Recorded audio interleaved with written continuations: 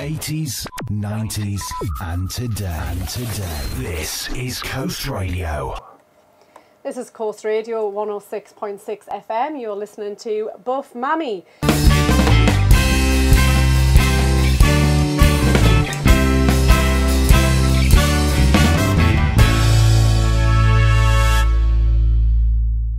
It's just gone one o'clock and we have a couple of requests coming in.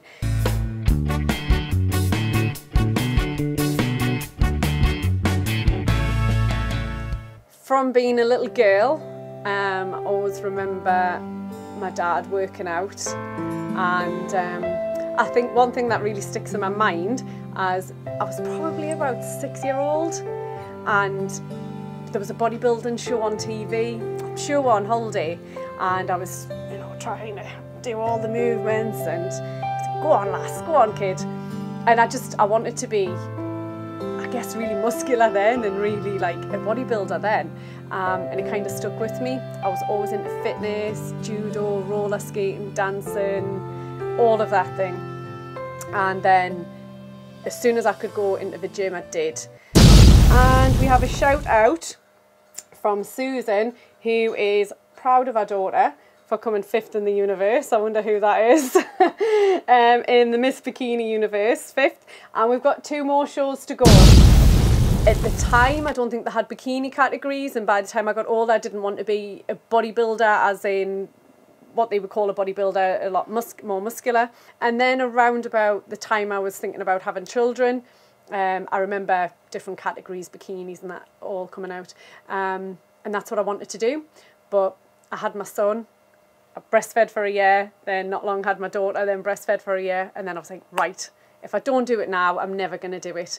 I'd done it, got the bug, fire in my belly, and then that was me. Went in lockdown, and then I'm back on it. Absolutely loving it.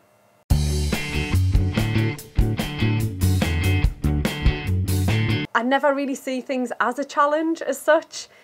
I kind of am the type of person that thinks that's the, every, everything happens for a reason and I would have goals and a vision board and I would look and go yes I want to do that and people might look at that as a challenge like you know doing Miss Universe and things like that but I see that as my goal my vision and then break it down and do it day by day if for example like I came fifth in Miss Universe but I want to come first I would take lessons from that to learn from it and then build from that. And that would probably be my challenges on a daily basis.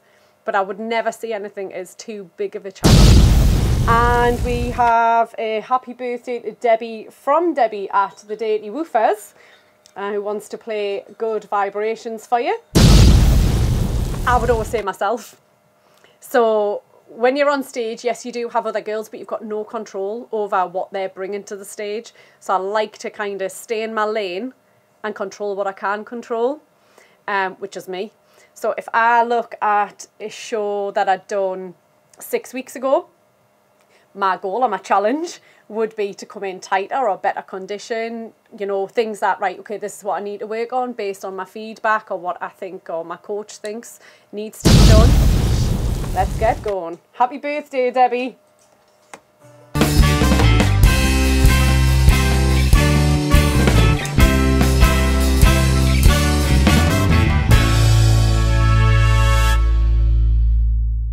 competitors in business, um, with curves wise, with the gyms, um, again, I don't kind of worry and put any time or effort into any of the other gyms worrying about any competitors because we're really unique. We're a ladies only facility and the service we offer is very, very different to any other competitor out there. Um, so that energy that I would put into worrying about them, I don't. I put into the into the club. Radio. You're listening to Koast Radio 106.6 FM. This is Buff Mammy. We only have half an hour left, guys. Get those requests in. I hope Debbie heard all them requests for her birthday. Probably keeping two children alive for this long.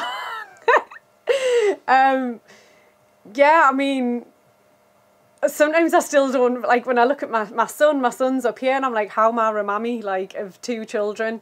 Um, to have my two babies, they are really they're amazing children. They are absolutely amazing. They're really successful. My son is amazing at football, a defender, and my little girl's an amazing dancer. They're just absolutely brilliant children, and I've brought them up. Obviously, my husband as well. I do the most work. Um, so yeah, just just watching them and seeing how polite they are, good attitudes, the confidence they've got, that's an achievement to know that I've brought them up as good, strong children. Achievements out of the family, um, having my three clubs, I think that's a massive, massive achievement, and coming fifth in the universe with my bodybuilding. Um, yeah, only for this year though. I'm getting first next year. I'm coming for you. That goes back about 20 years. Um, I started with Curves. It's a ladies' fitness facility, um, massive franchise. It started in America, Texas, Waco, Texas. And um, I started off as a coach. From a coach, I became a manager about the age of 17. And then uh, at the time, I had I was running the, one of the top three clubs in, in England and Curves International contacted and asked if I would be a mentor for Curves. So that's what I done. So um, I mentored uh, all over the place. I was away from home weeks on end, island, island, just hopping all over the place, opening up. Absolutely loved it. Got loads of life skills from doing it, traveling experience and everything. Went to Las Vegas a few times, absolutely brilliant. Um, we had to do a big performance on stage in front of 10,000 people. It was brilliant. Welcome to Koast Radio.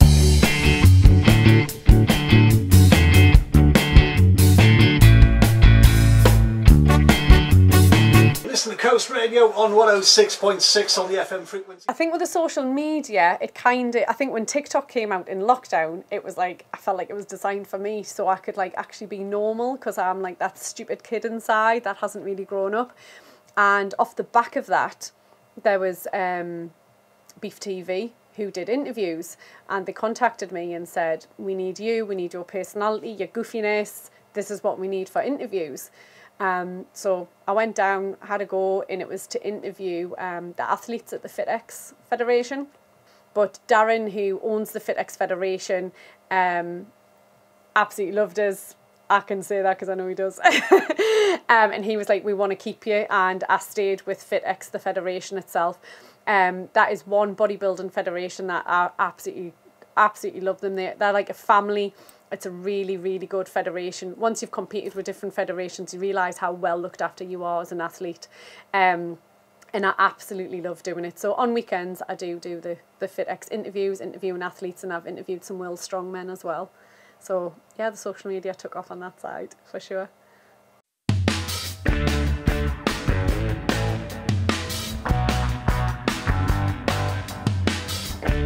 And then I came back and opened my first club. I think I was about 20, 21 in Ashington. And then we opened Cramlington and then recently just took over Cullercoats. Um, we took over that club that was already existing and we took that over in 2017. So I've got three clubs now, Ashington, Cramlington, Cullercoats. Um, I've got an amazing team of staff now and I've kind of, after 20 years, taken a little bit of a back step and I do more the social media, marketing, paying the wages and the bills, that sort of thing. 80s, 90s, and today. And today. This is Koast Radio. I'm here, yes I am, it's Annie Hart. I'm just going to finish off my little bit with Alma Cogan. The World Cup will be starting, so we'll be having in uh, in club teams at Curves um, for to get all involved with the World Cup. So watch out for that. Curves as a place. Always seemed when I went into a gym, there was never any women. And the one or two women that you did see would be on the treadmill or the cross trainer. And they're just doing cardio, they're not doing strength training.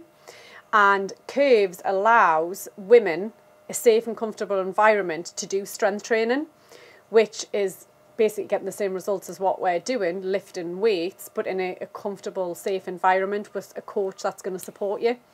And that's why I fell in love with curves because then I could offer my guidance, advice, and knowledge to women that would never step foot into a normal gym. Um, and I absolutely love it. It's just the community of it, the that the concept of it, the support, the members, they're like my family. We've got um, smart things with key tags, which um, it really motivates you on the machines and then you put it in the kiosk it tells you how many calories you've burned which um, muscles you've worked which ones you haven't worked. It alternates your workout to work you harder. It's double positive equipment as well which is really really good because in a normal gym you might have to do say like a bicep curl and then like say a tricep extension so you're doing front and back.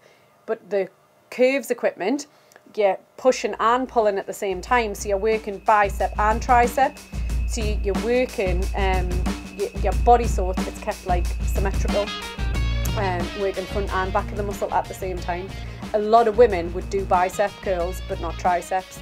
A lot of women would do sit-ups for their tummy but not the lower back. You know a lot of women might do squats but not do the you know what I mean? So they, they don't really do the back side of things so this keeps their body in proportion. It's really really good I do, yes, the Sons Football Club. Could you tell us which one that is? Wallsend Boys Club.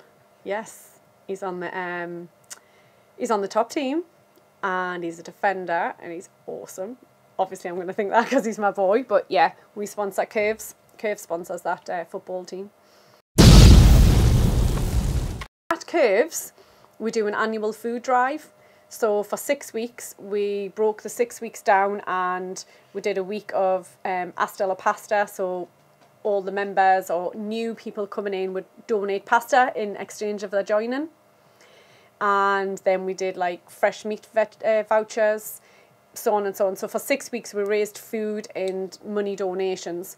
And then we teamed up with um, Premier Meats at Blyth and we used their hot food van and three days in a row we went out and fed the homeless and donated everything to charity. And I came in and every Friday I give them an update um, on the radio of what it is we're doing, how much we'd raised.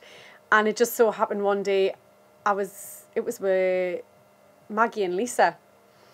And Anne, Annie had went away home and she'd heard on the radio and she was like, I need someone for the radio. And she was like, you sound brilliant on radio. That's what we need. Would you like to do it?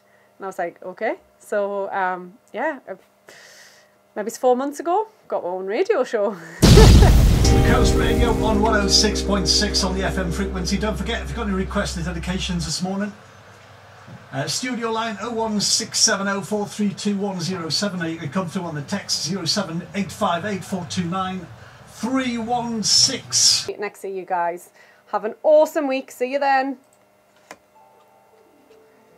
I'd be really proud of myself actually. I know that might sound big-headed, but I actually, I absolutely love my life. I really do. Um, I'm grateful for everything I've got in life.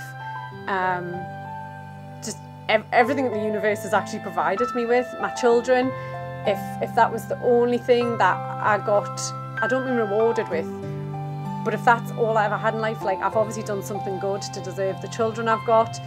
Um, having curves, that was my dream when I was younger to own my own gym, and I've got curves now. My dream when I was younger to compete, NABBA. I never ever thought I would ever be good enough to compete in NABBA, and I've just done that. Um, I'd be, I'd be well happy with my life. I am happy with my life. I'm grateful and I appreciate everything, and I love everybody and everything in my life. Yeah, wouldn't change anything.